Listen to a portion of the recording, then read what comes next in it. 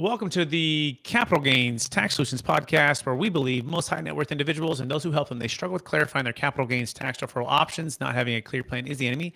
Using a proven tax deferral strategy, such as a deferred sales trust, is the best way for you to sell highly appreciated assets, all tax deferred, so you can create and preserve more wealth. Hey, I'm your host Brett Swarts. Each episode, I'm joined by some of the best real estate, financial, and wealth minds in the world, where they share their ideas, deal stories, and inspiration. So together, we can make complex tax deferral strategies simple and passive income plans achievable. We're also streaming on expertcresecrets.com as well. I'm excited about our next two guests. They're out of the great state of New Jersey. Uh, Michael Soroko and Zach Zenda. They're on a mission to help people um, have total financial analysis on all of what they're doing to build their wealth, including retirement analysis and including estate strategies, including employment benefit and retention services, business continuation strategies, trust services, life insurance, and so much more. Please uh, welcome to the show with me, uh, Mr. Uh, Mike Soroko and Zach Zenda. How you guys doing? Good. Thanks so much for having us, Brett. Absolutely. Yep, absolutely. And we'll we'll uh, I'm excited to have you guys as well. And how about we start with uh, with Mike, and then we'll go Zach. Uh, a little bit more about your story and your current focus. Sure. Yeah, been in the business here, financial planning since 2013.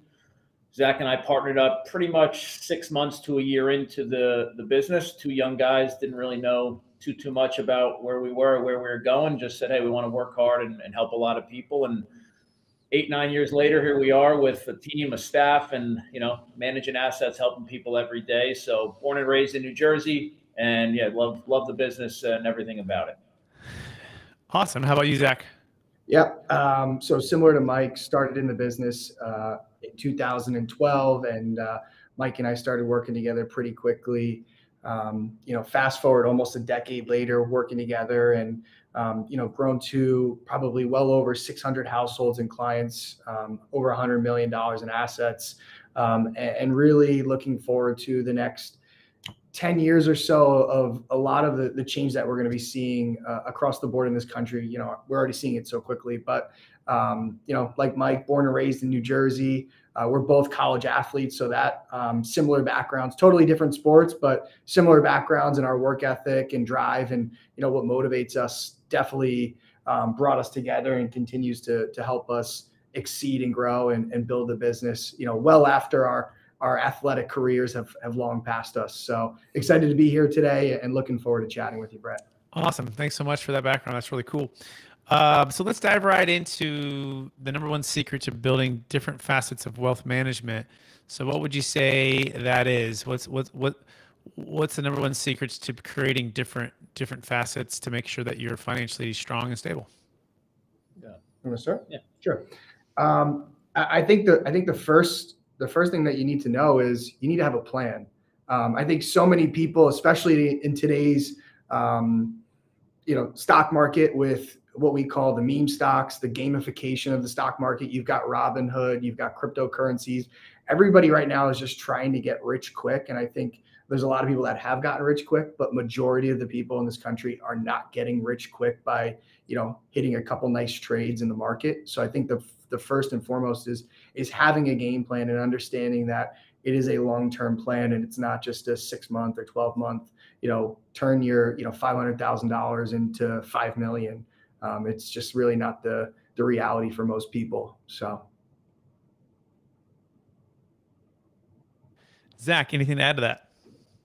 Yeah, no, I, I think he hit on the head. And then, you know, with the game plan comes a financial coach, right? Whether it's a coach, an accountability partner, someone like us that's licensed and in the business, someone like yourself, you know, we, we know your background, someone that could be your spouse, right? Or your parents, aunts, uncles, somebody that at times that you might not want to think about your money, the markets, taxes, et cetera, You have somebody that can keep you accountable and, and just say, hey, are, are you in track with your goals and are your goals in line with your money and, and these types of things?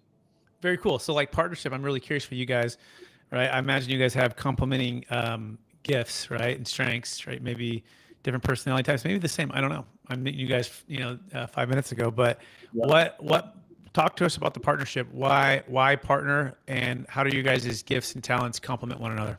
Yeah, sure. I'll, I'll start. We again started seven eight years ago. Zach had been in the business, and kind of as two young guys saying, most of our friends and people in our natural markets didn't have a whole heck of a lot of money. So we had to level up and, and just go out and try to help a lot of people. And we said it's a lonely, lonely business by yourself, right? We've done everything from networking events, business card exchanges, cold calls, marketing, branding, and you know, to do that yourself on some of those early mornings, late nights can be challenging. So we were kind of like Zach had said, both college athletes came up and said, if we're going to go at this thing and survive, you know, very small success rate in the financial uh, advising, financial planning business.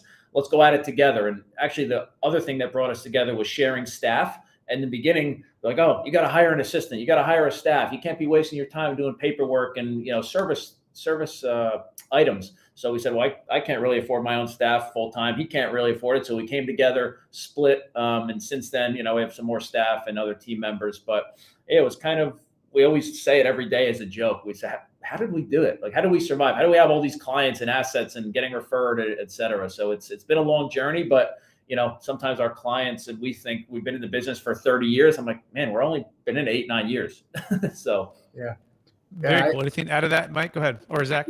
Yeah, absolutely. So I, I think, you know, to part of your question is you know what differences do we have? I think mike and i are very similar yet we're very different at the same time. And um, mike's strengths are the organization behind the business and making sure that everything is run as smoothly as possible with, with our clients and and how important it is from you know point a to point b with with bringing on new clients and having all the systems and processes and and then also you know mike's personality with clients and getting referred. And similar to me is coming up with these ideas and marketing and, and going out there and continue to build our brand. And bringing that all together has allowed us to continue to go into this hyper growth mode which we're, we're looking forward to over the next decade or so from here now. Because again i feel like we're just scratching the surface. Mike you know you just said i feel like we've been doing this for 30 years it's only been just under 10 years and i think the next 10 years from now for us are just such a uh, you know, a big run up here for the next 10 years to continue to grow. I think I listened to one of your podcasts and you're talking about the, you know, the big uh, wealth transfer from the baby boomer generation that's coming. And we're starting to see that come now. Um, we've already had experiences with that with some of our, um, our bigger clients now having some uh, massive wealth transfers. And that's only going to continue to happen. And I think we're positioned ourselves in such a great spot now to be able to, um, you know, help, help this transition of wealth in our country, which we've never seen before. So. Cool. Very well said, Mike and Zach. Thank you so much. By the way, you can learn more about Mike uh, Soroko and Zach Zenda. You guys have some really cool last names, by the way, at, at emerituswealthgroup.com. That's still with an E, by the way. E M E R I T U S, wealthgroup.com, emerituswealthgroup.com. Okay, excellent. So, what services do you guys offer? Just so I understand. So, you guys are doing, you guys are financial advisors, insurance professionals, a mix. Can you kind of just break down what is it? What is it that uh, you guys offer your clients?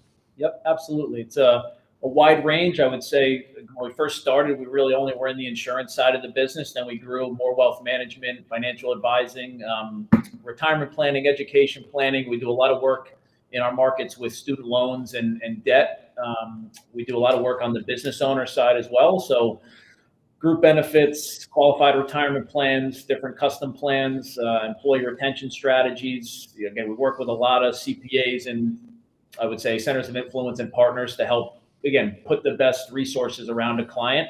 But at the end of the day, it's really just building relationships and helping people uh, with wherever they are today, where they want to get to in the future, and how can we help them understand things on a baseline level financially to get there a little bit quicker and maybe a little bit more efficiently than they can do on their own. Cool. So now let's talk about real estate versus, uh, you know, maybe traditional, more traditional liquid securities investments. I'm curious if you guys invest in real estate yourselves. That's my background. Where most of my clients and the, and the people that I serve come come from. You know, entrepreneurial business, uh, real estate, uh, mostly, where they've made the majority of their wealth. So I'm curious on your guys' clients, same, different, or or what's kind of the the nuance there to help people who are moving from real estate and wanting to maybe be a little more passive and work with you guys? Yeah, um, you know, Mike and I, um, you know, both both have uh, have real estate that we currently own, and uh, our client base uh, does.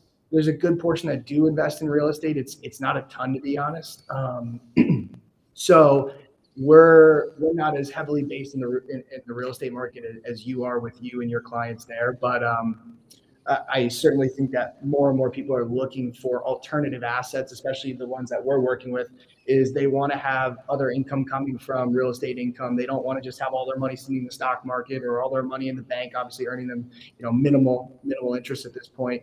Um, but it's a little bit of, of both with our clientele. Yeah, no, I, you hit it on the head. I think again, it's not the predominant thing that, that we work with, but we both own residents. I just bought a rental property um, up in Vermont. We joke living in New Jersey. The uh, you know, I'm like, man, we have these clients now through the pandemic and Zoom, and clients throughout the country. We keep getting licensed, and you know, how much money you making? Where are you saving money? Tell me about your properties and invest. Oh, I own this property. It's six thousand square feet for three hundred grand, and I'm like, man, three. You know, that property in New Jersey is going to cost you 1.7 million but um, again, it's all relative. I think we're really we are big fans of real estate as one specific asset class, right? I think kind of the old cliche, don't put all your eggs in one basket. We meet people that say crypto's the only way, or you know, stocks are the only way, or mutual funds, or index funds, or real estate. I think if you get too over leveraged in any one area, it's not going to do you too well. So again, it's about having balance, and we try to add that into each client's specific plan.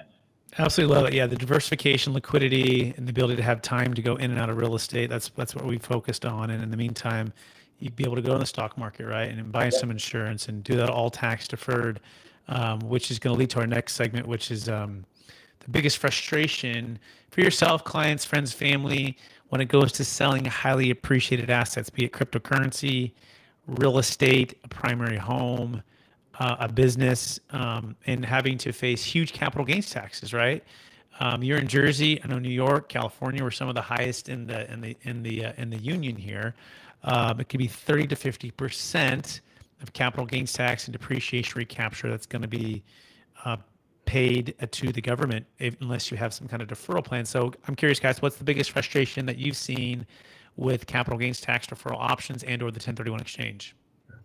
Yeah, I think uh, uh, big fans of the show also, and knowing that we were coming on here, we've been listening to a bunch of your shows, you know, leading up to this, and we're getting takeaways. So this is great. We're going to share some of these things with with our clients on things that we're not experts in everything, you know, real estate, obviously. But I think the biggest frustration is number one, people aren't educated, right? And they say, oh, I can just go on Google and get the answer, or you know, do this or that, or my you know, Zach always jokes. He was having a conversation with his mailman and he's like, when my mailman's starting to tell me about like capital gains and stock trades, you know that there's just a different, you know, shift in in the investment universe.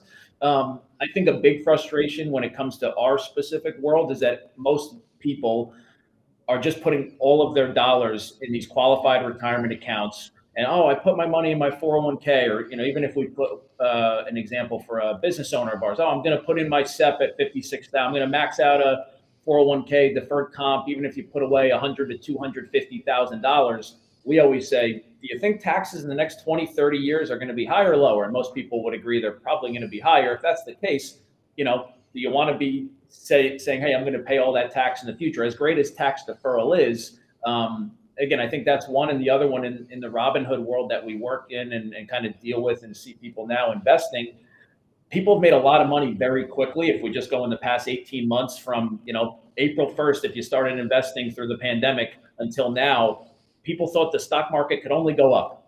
and we kind of laugh, like, obviously, that's not the case. And again, it's a lot of younger people, which we love that more and more people are into investing. But when yeah. you think about, hey, you've got a two, three, four hundred, we have clients with five hundred thousand dollar unrealized gains. And you know what are they doing to maybe realize they don't realize you're paying federal state income net investment tax all these things. And like you said 30 to 50 percent is wiped out. You're like oh don't. I mean unfortunately for a lot of our clients especially those with highly appreciated stocks or rsus or or just different portfolios i mean we're not doing as much in the in the 1031 exchange and, and things like that nature. But you know, people aren't realizing, especially those that have incomes north of 500,000, you know, 750, a million dollars plus, you know, they're in New Jersey basically paying close to 50% in taxes on that money. So they're all happy. Hey, we just sold a million dollars or $2 million worth of stock, but they're not realizing that they're only going to get 48 to 50% of that, of that money right now. And, and unfortunately, I, I don't know where we're going. You know, there's obviously not here to talk politics, but it could be getting worse from here. So that's another scary thing that, that we're starting to see for a lot of our clients, which is, you know, like Mike said, we were learning some interesting stuff from what you were talking on your podcast. Definitely want to kind of start to talk about what other options are out there for for these clients so that they're just not losing 50 60% right off the bat you know when they're when they're selling these highly appreciated assets. Yeah 100% could agree with you guys more. And it's no longer about cash flow it's now about tax flow right so i mean you got to have cash flow that's important but for a lot of the clients that we serve they've made their wealth they've built their businesses and they're ready to exit and they're ready to exit rich and they're ready to exit uh, in a smart way. And a lot of them will not exit if they don't have a clear plan to defer the capital gains tax. And so yeah back to part of your point what you were saying earlier yeah the largest wealth transfer in the history of the planet is happening right now and this is according to the American Bankers Association, is about 17 to 20 trillion dollars that'll pass from the baby boomers to the millennials in the next 20 years. And it's known as the largest wealth transfer in history of the planet. It's never happened before. There's 10,000 baby boomers turning 65 every day, and there's over 77 million in the U.S. alone. That's the first storm, is the demographic storm. Second storm is the political storm, and you touched a little bit on that. But Biden is considering moving from 20 to 40 percent on the capital gains tax federal rate. Also, eliminating or limiting the 1031 exchange, and the biggest thing is eliminating potentially yep. the stepped up basis, right? Yep, so essentially yep. transferring the majority of the wealth from the baby boomers in the next 20 years, should those things pass and also not have someone else come back in and, and, and reverse them there's never been more transfer from a from from a single, let's say, um, citizen to a government that we know of in the history of the planet. So it's right. a battle for for tax flow, not just cash flow. And this is why we offer the deferred sales trust. So if you are selling a highly appreciated asset, you can defer the tax, right? And and you can live off the cash flow and slowly pay some income tax on that, but keep the golden goose, the main principle in place and and just continue to pass that on to your kids and keep it going for you, which is great. You can also delay the income tax, so you can delay for a couple years, and that can also help you if you're if you're moving out of New Jersey and establishing residency in Florida, where it has you know zero income tax, or in Nevada or different states that are more favorable. So it can defer capital gains tax. It can also help you delay income tax. Um, and then it can also move funds outside of your taxable estate, which is another big thing that most people um, may not be paying as much attention to, but that's going to be able to save 40%. Um, so, so much there. You can go to capitalgainstaxsolutions.com to learn more. That's capitalgainstaxsolutions.com. Guys, that being said, we are running out of time. Are you ready for the lightning round? Yep, let's do it. All right. Knowing what you know now, we'll start with Mike again. If you could go back to your 20 to 25 year old self, what's the one golden nugget you'd make sure to tell yourself to do? Related to this business, it would have been hire more people, more staff, and pay them more money and hire them at a quicker rate. Excellent. Love it. How about you, Zach? Yep, absolutely. Uh, I think number one thing I would do is just reinvest more money back into the company and and continue to understand of what that ROI is on just more and more dollars going back in versus, you know, again, 25, putting it back into lifestyle as you start to make a little bit of money. So excellent. Invest in yourself, invest in the business, build systems, build people. I love it. Uh, second question, the number one book you recommended or gifted the most in the past year, Mike? Yep, uh, shifted a lot more to audiobooks with the drive in life, but I would say Think and Grow Rich. I love the fundamentals and all the things. It's crazy to me still how many of our clients or friends have heard of it, but still don't, you know, haven't read it. It's so easy. So we, we use that a lot. Excellent. Go ahead, Zach. Yeah, absolutely. Um, read this on the beach early on in the year in vacation, but uh, 10X by Grant Cardone. Um, not a huge Grant Cardone guy, but uh, I think there's little things that you could take from him. And uh, I thought the book was just was just awesome. And I probably had about maybe five or seven people in the last couple months here read it and say the same thing. Just some great takeaways from the book. So beautiful, love it, cool. Um, next question: What are you most curious about, Mike? Go. Most curious about honestly where our team is going to be in the next five to 10 years, where again, we started just with each other. And now, as we hire more staff, we had a former colleague literally call us right before the podcast Hey, I want to come back. Are you guys hiring more advisors? And we said, uh, at this point, we kind of want more staff to help us build and support the, the foundation. So I, every day things change, but I think where we're going to be as a team in, in five to 10 years is the thing that I just stay up and think about. Sure. Uh, I, I would say most curious about is, is what is you know, what does the country look like, you know, from a, a workforce and just life in general post COVID and whatever that means, right? Is that 12 months, six months, two years? What does life look like? I don't think it'll ever ever be the same, you know, for for better or worse in different ways, but very curious to see how we move on and you know how we continue to grow post post COVID.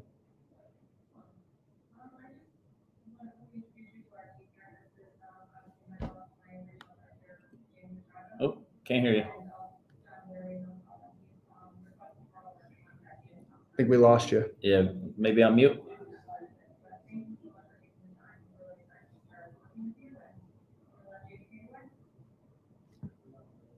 Can't hear you.